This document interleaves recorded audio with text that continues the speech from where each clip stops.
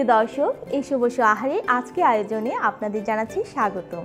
আজকে আমি আপনাদের তৈরি করে দেখাচ্ছি চিকেন উইথ ভেজিটেবল মোমো।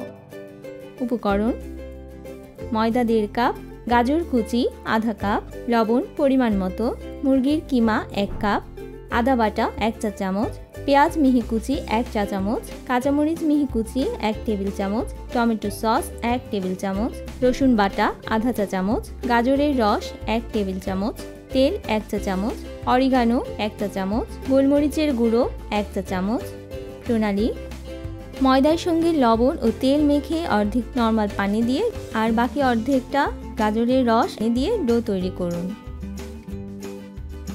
পেঁয়াজ এবং সব মশলা ভেজে মুরগির কিমা দিন।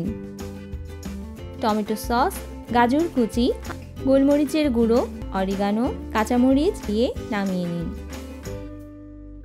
সাদা ও কমলা রুটি বেলে রোল করে কেটে নিন। এবার রুটি তৈরি করুন। ভেতরে পুর ঢুকিয়ে মোমো তৈরি করুন।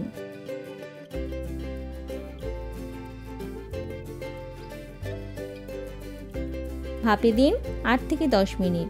তৈরি হয়ে গেল চিকেন উইথ ভেজিটেবল মোমো।